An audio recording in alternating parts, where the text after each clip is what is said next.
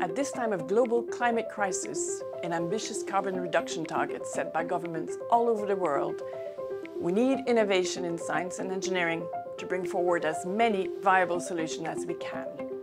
At Ceres, innovation is at the heart of everything we do. We have a world-class team of scientists and engineers who are innovating every day to keep our solid oxide technology at the forefront of clean power generation and electrolysis.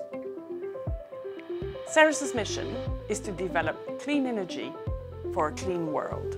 Our technology is unique in that it can run both in fuel cell mode, producing electricity and heat, and if you have green electricity and are feeding that into the same cell, it can run in electrolysis mode to generate green hydrogen. Ceres' technology is also a no-regrets choice for partners in the industry looking to make the transition to cleaner energy. Our technology has been developed to work with a variety of current fuels. This means the technology can be deployed today using multiple fuels, including natural gas, allowing immediate significant reduction in carbon emissions.